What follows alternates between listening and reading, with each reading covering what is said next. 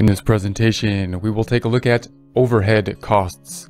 In a prior presentation, we looked at the cost flow of inventory, starting with the raw materials as it flows through to finished goods and is finally sold and recorded as an expense. Support accounting instruction by clicking the link below, giving you a free month membership to all of the content on our website, broken out by category, further broken out by course, each course then organized in a logical, reasonable fashion, making it much more easy to find what you need than can be done on a YouTube page. We also include added resources such as Excel practice problems, PDF files, and more like QuickBooks backup files when applicable. So once again, click the link below for a free month membership to our website and all the content on it in the format of cost of goods sold. Within that process, within the recording of inventory, we note that there's three main parts. We have the direct materials, we've got the direct labor, and then the overhead. The overhead we saw that was going to have the actual overhead that will accumulate upward, and then we're going to apply out the overhead to the department. So the idea of the overhead then is this area that we don't know which department to apply them to. Therefore, we put something into overhead and then we apply it out to the appropriate location based on some type of estimate. In this presentation, we'll consider some of the items that would be increasing or the actual costs of overhead, the overhead that would then increase, and we apply that overhead out based on an estimate. So note that the amount that we apply out will not match the actual overhead per se, and therefore this process will probably result in an under or over applied overhead amount that we'll have to process out and we'll discuss how to do that in a future presentation. Here, we're concentrating on the actual manufacturing overhead. When considering the accounting for overhead, there's a few steps we want to keep in mind. The first is that we're going to set up a predetermined overhead rate. The predetermined overhead rate will typically be based on prior performance or on the last time period, the last month, and then account for any adjustments in order to get the current predetermined overhead rate. We're going to use that rate to be able to apply the overhead out to the proper location, to the proper department. We'll actually do the predetermined overhead rate last so we can see what kind of things would be in overhead so that we can determine how we would then calculate the predetermined overhead rate. And then we're going to record actual overhead. So we'll actually enter the overhead or the overhead that will be incurred throughout the month. This is not an estimate. We don't have to estimate what the actual overhead is. The reason we need to put it into overhead and not to a particular process is because it's not because we don't know what the overhead amount is. We're going to have that actual amount, but we don't know which process to apply it to. And there might be some timing issues as well as to when we should apply them out. And then we're going to apply the estimated overhead to the process.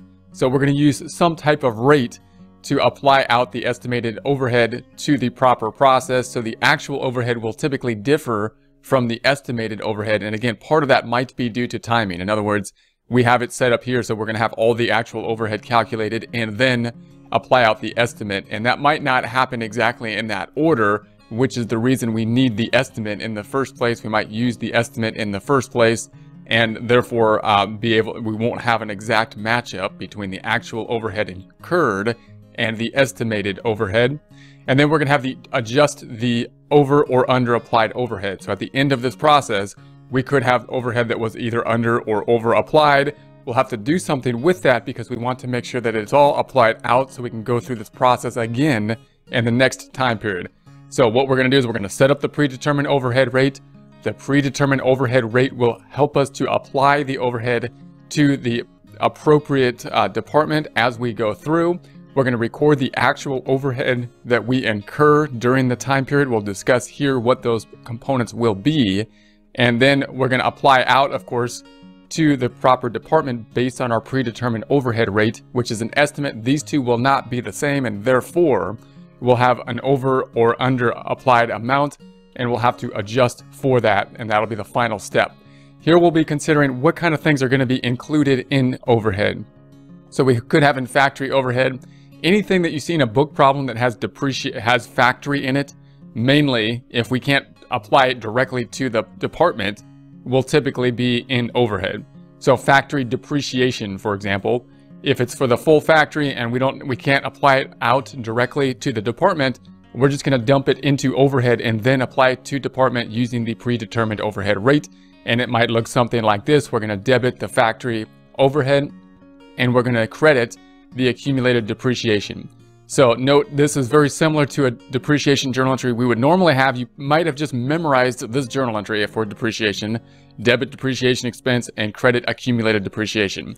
Now this is going to be different because we're not, the, the depreciation is not expensed in that time period. It's being used to create inventory.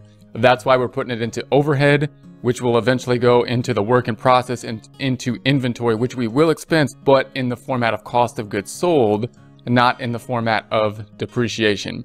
So this will then increase the overhead. So overhead will go up from zero up in a debit to 50 with this debit up top. Accumulated depreciation, then credit balance contra asset count was at 50, goes up by 50 to 100. There's the 100. Here's the equipment. It's it's going down in a book value method because the contra account is going up. Uh, and so that is the difference between those two would then be the book value. And then we've got the factory overhead, the factory overhead now at hour 50. Next item, factory utilities. So we might have utilities. Again, utilities, we've probably memorized a utilities journal entry to be utilities expense, debit, and credit cash or something like that. But in this case, it's utilities on the factory where we make inventory, and therefore we're not going to expense the utilities as utilities expense, but put it into the inventory in the form of factory overhead, which will then be part of finished goods inventory, which we will expense in the form of cost of goods sold eventually at the point of sale. And then the other side, uh, we're going to put into accounts payable. We haven't yet paid it in this case, accounts payable going up. Factory overhead then increasing by the 28,000 from 50 plus the 28 to the 78. Here it is here. So that's this 20,000 we're posting out to the GL. And then the 28 for the accounts payable increasing. It was at 965 by the 28 to 993. So there's going to be our 993 on the trial balance. You'll note that the bucket of factory overhead is pretty random. We got some random stuff here. So now we've got utilities, we had depreciation, and uh, next item is going to be indirect materials.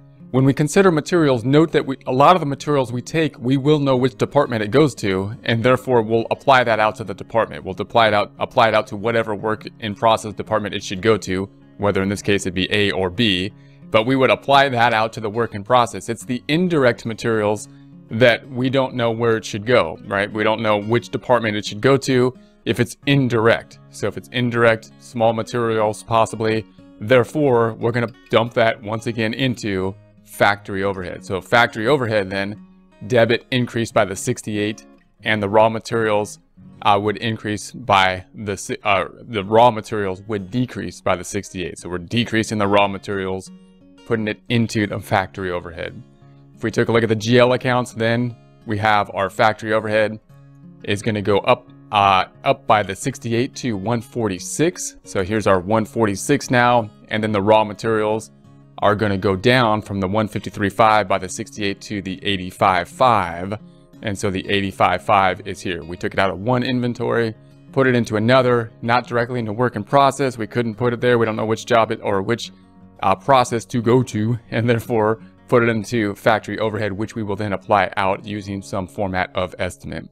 Labor is the same way. If we have labor and we know where it's going to go, we can then put it right to the work in process. If we know which department to put it to, we can debit work in process and credit the factory payroll. Note when we consider uh, wages, we're typically thinking of processing payroll. We're thinking about kind of this is a payroll process. We're not getting into any kind of payroll taxes or that kind of complicated stuff, but just note that this would be on the most basic level to pay payroll.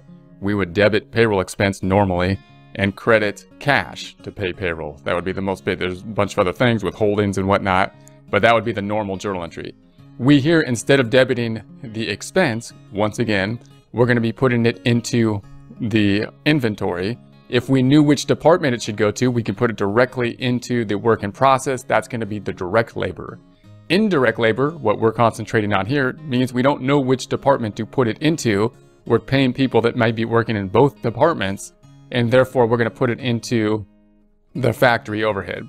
So rather than expenses, no matter which way it goes, whether it be direct or indirect, we're, we're not, it's kind of like running payroll. We're processing the payroll journal entry, but instead of expensing it at that point in time, we're capitalizing it at inventory in one way or the other, either in work in process or factory overhead. The other side being cash, or in this case, usually in these problems, they're going to put it into a payable account because note what the payable account does.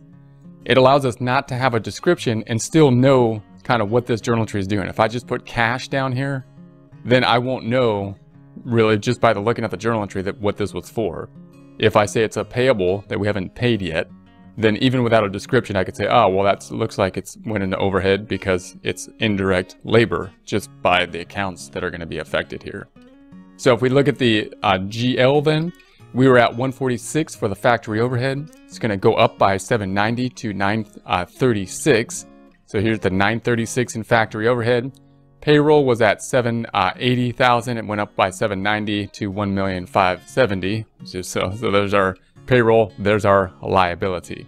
So these are just a few items that can be in factory overhead. Notice that there could be a lot of different things in there and typically it's going to be anything that's basically on the factory that again we couldn't apply to a particular process. Once we have this into the factory overhead, you can see we have this debit balance here. We want it eventually to go to work in process. So we're going to have to do that in some way. We'll do it with an estimate. The estimate won't use exactly this number. It's going to be based on estimates basically on prior year estimates with some kind of format for us to apply it out based on an estimate. And therefore, when we do apply it out, it's probably not going to be exact. And if it's not, we'll have an over or under applied amount, which we'll have to adjust out. So those are going to be the steps we need to do going forward with relation to the factory overhead.